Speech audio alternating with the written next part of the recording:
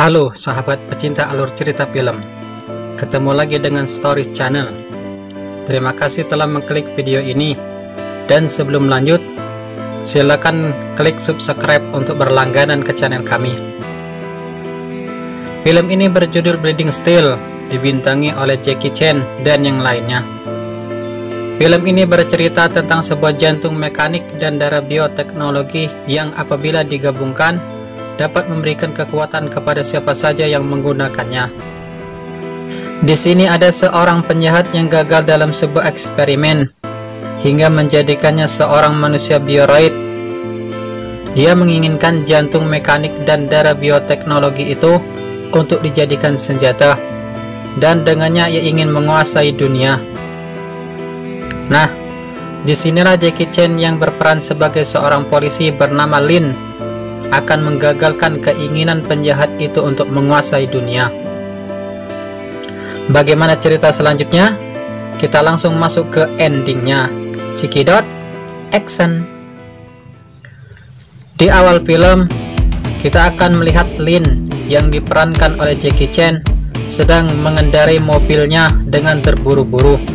Bagaimana tidak, malam itu putrinya akan dioperasi dan dokter bilang agar Lin segera ke rumah sakit karena putrinya dalam keadaan koma dan sangat kritis. Di tengah jalan, Lin ditelepon oleh atasannya. Malam ini Lin diperintahkan untuk mengawal seorang ilmuwan karena sang ilmuwan telah menjadi incaran para penjahat. Karena tugas ini sangat penting, maka Lin tidak jadi ke rumah sakit meninggalkan putrinya yang sedang operasi dan langsung menemui sang ilmuwan. Lin melihat sebuah jantung mekanik buatan sang ilmuwan. Kemudian mereka pergi dari tempat itu. Sang ilmuwan mendapatkan pengawalan yang sangat ketat. Awalnya semua terlihat aman, tapi kemudian Lin dan pasukannya diserang oleh pasukan yang tidak dikenal. Tembakan beruntun terus menyerang mereka. Mereka kewalahan, walaupun telah melawan dengan berbagai cara, tapi kostum pasukan itu seperti kepal tembakan. Mereka pun dihajar habis-habisan oleh pasukan tersebut. Yang ternyata pasukan itu dipimpin oleh seorang manusia bioroid, yaitu manusia yang memiliki kekuatan luar biasa hasil dari sebuah eksperimen. Melalui perlawanan yang sengit, pasukan Lin berhasil mengalahkan manusia bioroid dan pasukannya. Di akhir scene, Lin menabrakkan mobilnya ke arah manusia bioroid tersebut dan berkata, "Sampai jumpa." Lin menembakkan senapannya ke arah tangki bahan bakar dan scene lain selanjutnya. Seorang penulis novel bernama Rick Roger menulis novel berjudul Bleeding Steel yang akhirnya menjadikannya sebagai incaran para pencari Bleeding Steel. Bleeding Steel adalah jantung mekanik dan darah bioteknologi buatan sang ilmuwan yang disebutkan tadi. Pada suatu malam, dia kedatangan seorang tamu wanita yang sangat lebay, berlenggak-lenggok seperti seorang waria. Ternyata benar dia seorang waria. Dia sengaja menyamar untuk mengambil data Bleeding Steel. Dan di saat itu juga ada tamu lain yang datang, yaitu seorang wanita bersama dengan pasukan yang memakai kostum seperti pasukan yang menyerang Lin di awal film. Ketika wanita itu datang, waria itu telah menghilang. Wanita itu langsung menginterogasi Eric, sang penulis novel. Tiba-tiba ada seseorang yang mengenakan topeng datang dengan menerobos kaca dan menyerang wanita itu dan pasukannya. Dengan mudah dia mengalahkan mereka. Tapi wanita kembali menyerang hingga akhirnya si pria bertopeng itu berhasil mengambil data Bleeding Steel dan pergi. Wanita itu juga pergi dengan tangan kosong. Lalu waria itu keluar dari persembunyiannya dan mengambil salinan bleeding steel dan pergi. Pria bertopeng itu pulang. Ternyata dia adalah Lin. Melalui berita di TV, dia melihat ada orang lain yang diduga menghabisi Eric. penulis novel Bleeding Steel. Sedangkan di tempatnya, si waria yang telah kembali menjadi pria mencoba menyusun informasi yang dia dapat melalui salinan Bleeding Steel yang telah rusak. Di dalam sebuah pesawat, perempuan yang menyerang rumah sang penulis novel melapor kepada bosnya. Ternyata dia adalah anak buah si manusia bioroid yang menyerang Lin di awal film. Manusia bioroid itu membuka rekaman CCTV dan melihat sendiri apa yang terjadi di tempat Eric. Dia mengamati pria bertopeng itu dan mencocokkan dengan data yang ada. Dari data itu manusia bioroid tahu bahwa pria bertopeng itu adalah Lin, orang yang telah menyebabkan dia menderita selama 13 tahun. Dari rekaman itu, mereka mengetahui siapa waria yang juga menyerang kediaman Eric. Kemudian mereka menuju tempat kediaman si pria waria sedangkan pria tersebut sedang melakukan sesuatu di komputernya. Sementara di tempat lain wanita bawahan manusia biroid menemukan kostum waria dan secari kertas bertuliskan Hello. Wanita itu meragram karena merasa dipermainkan oleh si waria. Kemudian ia langsung pergi sambil menahan kemarahannya. Di tempat lain, Lin juga mengawasi gerak-gerik wanita tersebut. Scene selanjutnya menampilkan sebuah kampus yang cukup ramai di mana si pria waria sedang memperhatikan seorang wanita. Di sana juga ada Lin yang sedang menjual spaghetti. Wanita itu tanpa sengaja menyenggol seorang wanita yang lainnya dan terjadilah adu mulut yang menyebabkan mereka terlibat adu jambak rambut. Si pria waria dan Lin mencoba melarai mereka. Setelah usai si pria waria mengikuti si wanita sambil memujinya. Si waria berkata, "Saya Lison. Siapa namamu?" Tapi wanita itu langsung pergi tanpa menghiraukannya. Ternyata nama pria waria itu adalah Lison. Scene selanjutnya menampilkan mimpi buruk yang dialami si wanita Teman sekamarnya membangunkannya dan memberikan air minum agar dia tenang. Dari sini kita tahu bahwa gadis itu bernama Nancy. Besoknya, Nancy pergi ke suatu tempat yang aneh dan menyeramkan. Mungkin itu adalah tempat para geng bersembunyi. Dia masuk ke suatu ruangan dan menemui seorang wanita. Wanita itu adalah seorang paranormal yang memiliki laboratorium komputer di dalam rumahnya. Mereka melakukan terapi mediatasi, tapi kekuatan yang ada dalam diri Nancy begitu besar, dan sang paranormal tidak bisa mengatasinya. Dia memberikan sebuah kartu nama agar Nancy menemui seseorang yang ada di dalam kartu nama tersebut. Tanpa sepengetahuan Nancy, Dukun wanita itu merekam semua kejadian saat Nancy diterapi mediatasi dan memberikan hasil rekamannya kepada Eric, si pengarang novel Bleeding Steel. Hello, sahabat. Nancy keluar dari tempat itu, tetapi di tengah jalan dia diganggu oleh preman di tempat itu. Nancy menendang sesuatu dan kabur dari tempat itu. Saat Nancy terbojok, tiba-tiba Lison datang dan melawan para preman tersebut. Meskipun Lison tidak bisa bela diri, tapi dia berhasil membawa Nancy keluar dari tempat tersebut. Nancy berkata, "Bagaimana kau bisa ada di sini?" Lison bilang dia iseng mengikuti Nancy. Nancy marah dan pergi. Lison mengejar, tapi celananya tidak punya sabuk hingga kedodoran dan Nancy pun pergi menaiki taksi meninggalkan Lison. Scene selanjutnya, Nancy pergi ke alamat yang ditunjukkan dalam kartu nama yang diberikan oleh paranormal tersebut. Nancy tidak bisa masuk karena tidak ada izin.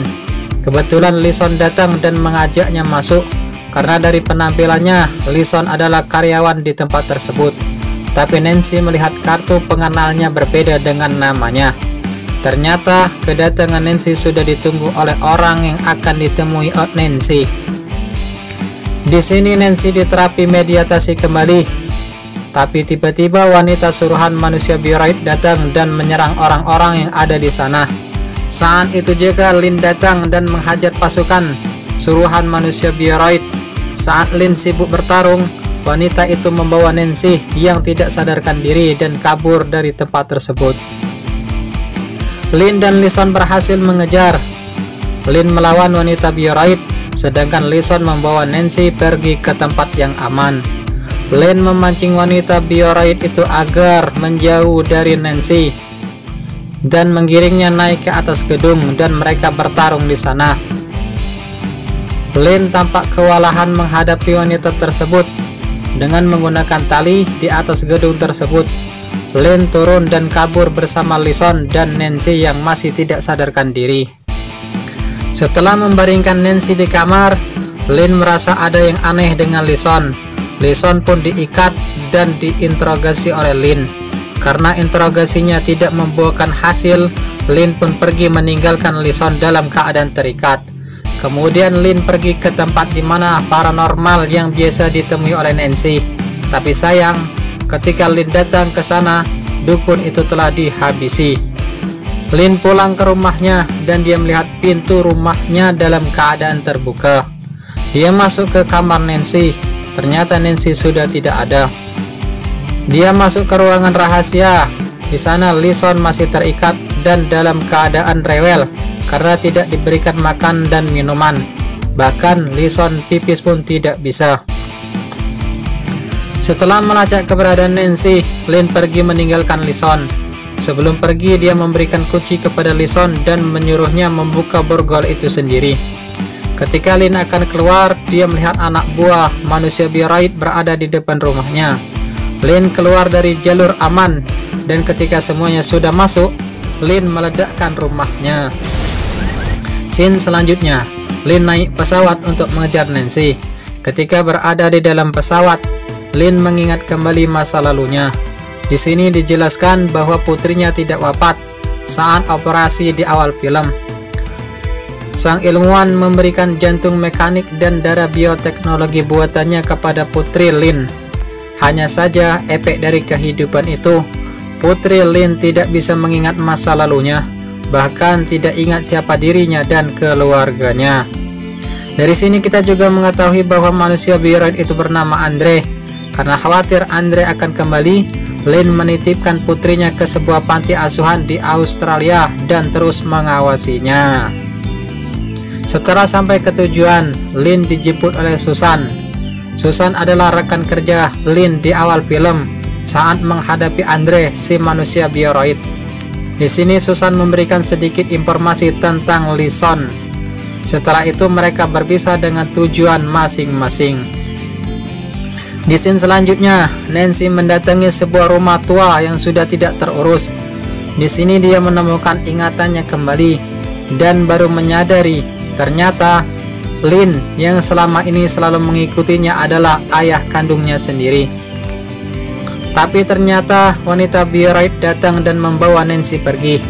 Melihat Nancy diculik, Lin langsung balik arah dan mengejar mereka. Aksi balap-balapan ala Fast and Furious ditampilkan dalam scene ini. Hanya saja, Lin tak sejago Dominic Toretto Walaupun akhirnya satu mobil berhasil ditumbangkan oleh seseorang dengan melemparkan telur ke kaca depannya. Tapi mobil itu bukanlah mobil yang ditumpangi Nancy. Dan anehnya, si pelempar telur itu adalah Lee Son. Dia berhasil melepaskan borgol di tangannya dan mengikuti Lin hingga di sana. Melalui keahliannya, Lee Son mampu melacak mobil yang ditumpangi oleh Nancy mereka pun pergi dengan menggunakan motor Vespa tahun 70-an. Scene selanjutnya, wanita bioroid dan kedua rekannya pergi ke sebuah bank dengan kostum yang mencolok, membuat para karyawan bank tersebut merasa aneh. Setelah melihat kunci yang dibawakan oleh wanita bioroid, seorang kasir bank menuntun mereka ke sebuah ruangan lapis baja Kasir itu memberikan sebuah peti yang ternyata isinya hanyalah sebuah kamera perekam. Wanita bioroid itu heran, masa ruangan lapis baja isinya hanya sebuah kamera? Tiba-tiba petugas bank tadi menutup pintu ruangan dan kontan saja wanita bioroid dan kedua rekannya menjadi panik karena terkurung di dalam ruangan itu.